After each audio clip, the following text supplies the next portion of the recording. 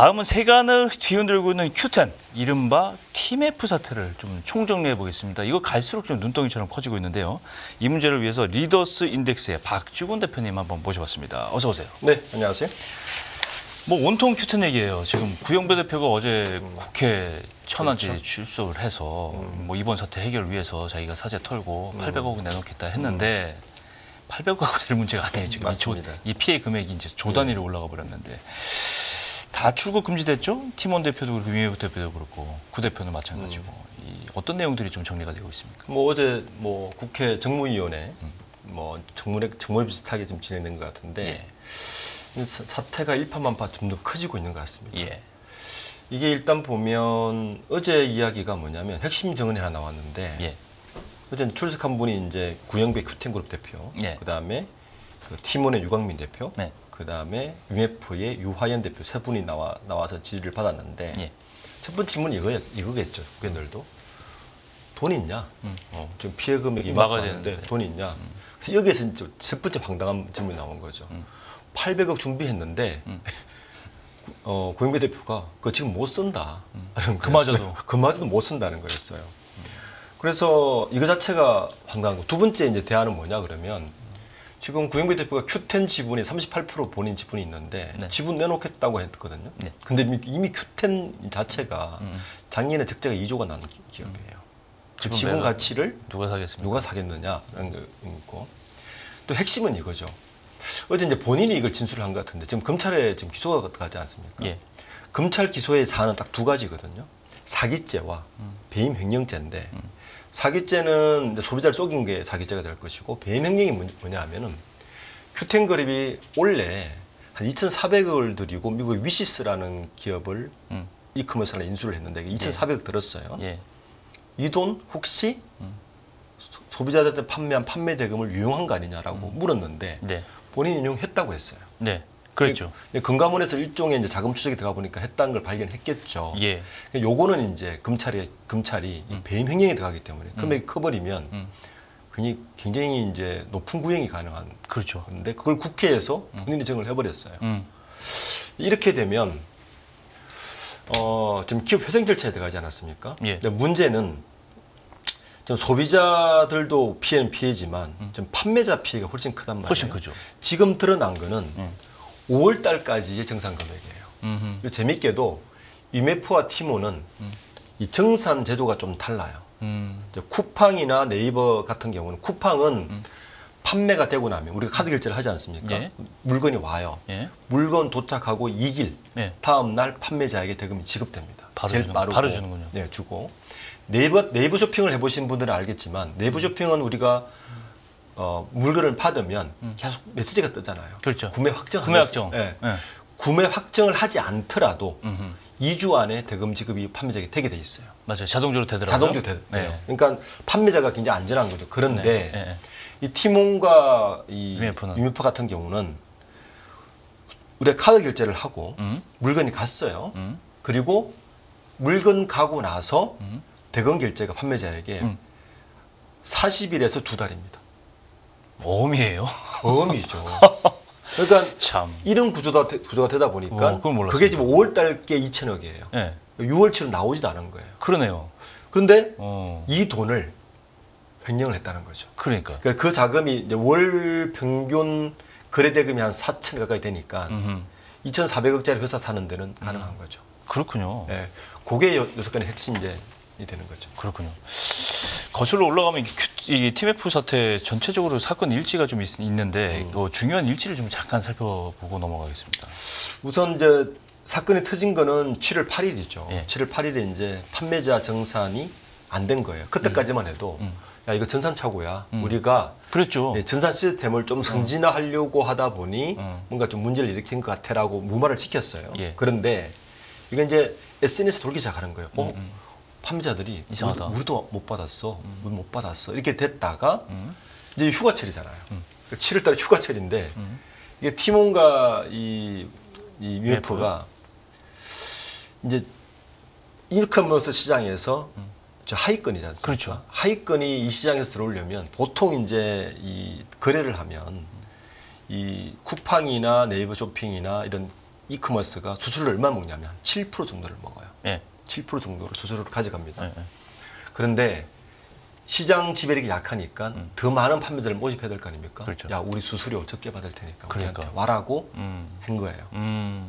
그래서 여행사들 같은 경우도 많이 들어간 거죠. 예. 수수료 적으니까. 예. 그런데 거기서 이제 수수료가 적으니까 싸게 나올 거 아닙니까, 당연히. 그렇죠. 그 싸, 싸게 나와야 사, 사람 더 몰리니까. 예, 예, 예. 대거 몰입했는데 휴가철에 많이 몰려버려요. 갔는데 이거 뭐 호텔도 안 되고 아. 항공도 안 되고 이런 사태가 터진 거죠. 그렇죠. 이제 소비자 피해가 드러나기 시작한 거죠. 그러면서 이 사태가 수면 위로 떠오르면서 일파만파 번지게 되면서 아시듯이 제가 방금 초- 초도 말씀드렸듯이 거래 대금이 40일 유예를 하니까 음.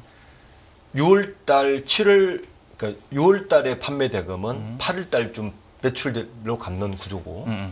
5월 달 판매 대금은 6월이나 7월 달 판매 대금으로 갚는 구조일 거 아닙니까? 그렇죠. 계속 예. 돌리기를 한 거죠. 그렇죠. 지금 5월 달에 터진 걸 보면 7월 달에 이 8, 7월 8일 날 사건이 터지고 판매가 안 되기 시작하니까 터져버린 거예요. 그렇죠. 대금 이제 롤오버 자금이 끊겨버리니까. 롤오버가 안 되니까. 그 6월 달 거는 당연히 이제 아예 지금 정지가 됐으니까. 그렇죠. 6월 달 판매된 건 아예 이제 판매자들이 돈을 못 받게 되는 못 거죠. 받는 거죠. 예. 그게 폰지 사기 아니에요? 일종의 폰지가 된 거죠. 그렇죠. 예. 이게 지금 뭐 일파만파고 이 사건의 본질적 핵심은 뭐냐 하면 이 구영배 대표가 어, 무리수를 둔 거예요. 이제 이, 이 큐텐이라는 기, 기업을 좀 이제 우리 이해를 해야 되는데 우리나라 이커머스 시장은 1세대가 있고 2세대가 있고 지금 3세대가 있습니다. 그렇죠. 1세대가 누구냐면 사실은 인터파크예요. 이기형 대표예요. 음. 예, 인터파크. 근데 이제 이 구영배 대표가 원래 서울대 자원공학과를 나오셨는데 66년생이에요. 예. 근데 자원공학과를 나왔으니까 보통은 이제 뭐 자원 기업에 미국 기업에 다니다가 99년도 회사를 나옵니다. 음. 그 이기형 대표가 선배예요. 음. 그 인터파크에 일단 취직을 합니다. 예. 이기형 대표가 이제 그 구영배 대표를 어, 같이 사업을 하자 꼬- 꼬셨겠죠. 근데. 이분의 재밌는 거는 이 구영배 대표는 자기가 창업한 모든 회사 이름에 자기 성을 넣어요.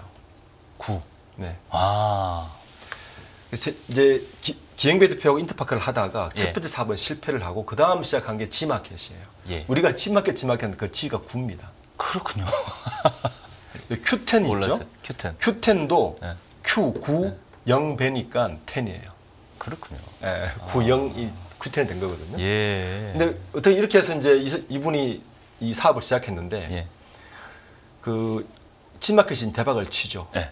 그걸 미국의 이베이가 2015 매각 가져가죠. 2009년에 매각을 합니다. 음. 매각할 때 옵션을 걸어요. 음. 어, 이건 매각하는데 네가 이쪽에 잔뼈가 굵었으니 우리가 이거 사, 사- 이 사업을 할 동안에 한국에는 이 사업을 하지 마. 음. 10년 동안 영업 금지 조항을 걸고 매각을 합니다. 음. 그래서 큐텐을 설립한 거예요. 2010년도에. 음. 그 큐텐을 설립할 때도 이베이를 다시 꼬셔요. 구현미 대표가. 우리 내가 이 동남 내가 이쪽 사업은 잘하니까 동남아 시장이 크지 않느냐. 이 동남아 시장 시장 이커머스를 내가 만들 테니 투자를 해라고 큐텐을 설립해요. 그래서 싱가포르에 설립한 거고. 그래서 설립한, 설립한 거죠. 그래서 겸업 금지가 풀린 해가 2019년도죠. 음. 그때부터 지금 우리가 이야기되는 티몬, 위메프를 AK몰 같은 거를 M&A를 하기 시작하는 거예요. 그렇죠.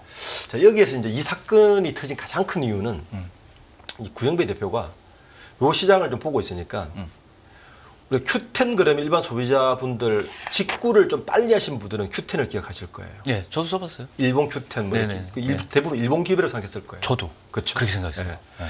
근데 이제 구영미 대표 거기서 무슨 아이디어를 얻었냐면은 직구를 아 직구가 앞으로 대세가 될 거라는 걸 이- 감지를 한 거예요. 아하. 2015년도쯤에. 어, 감은 있으시고. 예, 있으신 거죠. 그리고 아 직구가 대세가 되면 국가 간 cross-border express가 되게 필요하겠구나라는 걸 이제 그러네요. 그때 세운 회- 회사가 큐 익스프레스예요. 그걸 나스닥에 상장하려다가 이렇게 된 거잖아요, 지금. 거기는 다 동의를 한 거예요, 이 업체 사람들이. 음. 큐 익스프레스는 돈이 된다. 음. 이 특히 동남아 시장은 일본이 1억, 인도네시아가 2억 5천, 그러니까. 태국, 말레이시아 뭐 다 합치면 거의 5, 6억 되는 인구니까. 그렇죠. 아, 큐익스프레스는 분명 가치가 있어. 이거 나스닥 상장하면 값어치가 있으리라고 꼬시면서 이 큐익스프레스를 상장하기 위해서 모든 무리수를 둔 게 이 사건의 핵심 본 발단이에요. 그렇죠. 잘 보시면 예. 큐익스프레스를 나스닥 상장하기 한다는 조건을 걸고 제일 처음에 티몬을 인수할 때도 음. 몬스터 홀딩스하고 돈을 지급한 게 아니고 음, 음. 큐익스프레스에 지분을 수합을 한 거예요. 아 M&A의 그 유명한 지분 교환 방식을 썼다. 수합 방식을 쓴 거예요. 수합 방식을 썼다. 그리고 두 번째 인수한 IMF도 음. 그 허민 대표에게 수합 방식으로 인수를 합니다. 음 자, 이 수합 방식이 또 한계가 있을 거 아닙니까? 그렇죠. AK몰 AK몰은 외상으로 사요. 어 아, AK몰 AK몰도 방식 사고 그다음에 위시스 위시스 그런가요? 저기 그 마지막에 산그 어, 위, 위시 스는 네. 그게 안 된 거예요. 그게 안 됐고. 안 되고 현금으로 살려다 보니까 아. 돈이 없잖아요. 아. 어디서 땡겼겠습니까? 예. 방금 말한 어. 결제가 두 달 40일이 되니까 고 남, 그 고 돈으로 그 이용하면서 기간을 이용을 이 사고가 거군요. 터져버린 거죠. 아, 이제 좀 이해가 됐어요. 예, 그러니까 모든 사, 이 사건의 발단은 큐 익스프레스를 나스닥에 상장하기 위해서 모든 작업. 그러니까 무리하게 하다 그 보니까 이제 된 거죠. 티몬, 위메프, AK몰, 위시를 인수한 이유도 예, 예. 큐 익스프레스가 나스닥에 상장하려면 기본적인 이커머스 인프라가 있어야 되니까 그러니까 무리하게 value를 높이기 위해서 value를 높여서 한 거죠. 그러니까. 그러니까 모든 사, 이 사건의 핵심은 큐 익스프레스의 위시도. 사실 이- 그 가격이 맞습니다. 아니었다. 위시도 2,400에 샀지만 어디 국회에서 뭐라 그랬냐면은 그 돈을 주고 샀지만 한 달만 쓰고 다시 돌려줬다는 거예요. 무슨 말이냐면 외상으로 샀다는 이야기입니다. 현 금으로.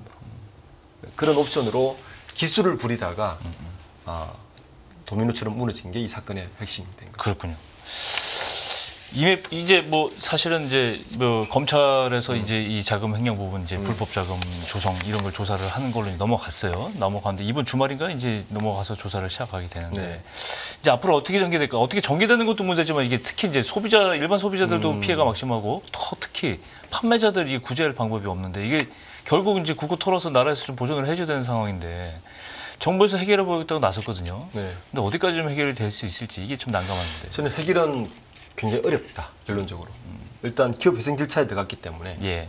어, 지금 가장 문제가 되는 판매자들이 묶인 돈은 어, 굉장히 어려울 것이다. 받기가 회생 절차에 들어가 거의 한 1조 정도 되는데. 네. 어려울 것이고 이제 이번 이커머스 사건을 보면서 지금 정부의 책임도 지금 꼭 짚고 넘어가야 되는 부분이 있다. 이게 뭐냐하면 어, 임- 티몬 위메프 인터파크, 인터파크 커머스의 기업 결합을 승인해 줬어요 금감원에서. 그렇겠네요. 네, 이 자본을 봤다면 승인될 수 없는 거거든요. 음. 이 승인에 대한 이 자본 잠식 상태에 있는 이 기업들을 왜 승인해 주는지는 반드시 꼭 물어야 되는 부분이고요. 그렇죠. 두 번째는 이미 머지 사태를 우리가 겪었잖아요. 그렇죠. 그러니까 플랫폼 기업이 10%의 사, 7월 말에 마지막에 돈이 몰리니까 음. 해피머니부터 시작해서 상품권 깡을 해버렸어요. 음흠. 결론적으로 7월, 7월 초에. 음. 그리고 구영배 대표가 싱가포르에서 한국 들어오자마자 음. 소비자에게 나타나지 않고 잠, 이렇게 잠적을 했잖아요. 참정했잖아요. 잠적한 기업들은 뭘 했냐면은 이 상품권 깡한 상품권 기업들을 설득을 한 거예요. 음. 돈을 좀 돌리자. 마지막까지 그, 그, 일을 벌인 거예요. 아. 그 이런 일을 했을 때 금융위는 왜 방치했느냐에 대한 질문을 던져야 되고요. 그렇죠. 마지막으로 일정 이상 이제 펑크가 나도록 이런 관리 감독 사각지대에 있, 는 동안에 금융과 비금융 무너지는 이런 있을 때 왜 제도는 못 따라갔느냐. 맞아요. 특히 이제 애들이 2차 피지사를 같이 했어요. 그러니까요. 예. 예. 이 2차 피지사에 대한 관리 감독도 굉장히 부실했던 거죠. 음. 그러니까 이 부분에서는 그래서 아마 금융 감독원과 금융 같은 빠르게 움직이고 있는 자기 책임감을 좀 있으니까 예. 공정히 움직이고 있는 것 같고 앞으로 이제 더 걱정되는 거는 이 사태가 음. 이커머스라는 건 계속 진화 발전을 해야 되거든요. 예. 그럼 이 사태가 터진 가장 큰 이유도 혁신이 없으니까 자본시장에서 돈을 터지 못하는 거예요. 그렇죠. 그러니까 수합 방식으로 계속 인수할 수밖에 없는 거죠. 음. 그러니까 이번 사태 때문에 혹여 또 이커머스 시장에 음. 뭐 새로 시작하는 스타트 벤처라든지 이런 기업들이 위축되는 것도 시장에 음. 하나의 또 문제점이라고 보고 있습니다. 그렇군요. 일파만파 티메프 사태 어떻게 진행될지는 계속 좀 watch를 해야 되겠습니다. 네, 이렇게 오늘 경제훈풍 리더스 인덱스 박주근 대표님 모시고 티몬 사태 사태를 한번 들어봤습니다. 오늘 말씀 고맙습니다. 네, 감사합니다. 진정한 기업 투자의 비밀은 변하지 않는 가치를 보는 것. 당신이 선택할 기업. 이제보다 분명히 보이실 겁니다. 실패하지 않는 기업 투자의 조건 7가지. 여기서 확인하세요.